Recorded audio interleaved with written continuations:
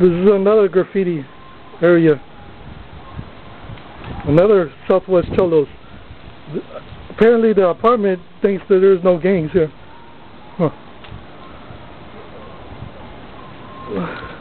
Where are they living? On a rock? Are they living on a rock? And the city does nothing. And the city just does nothing.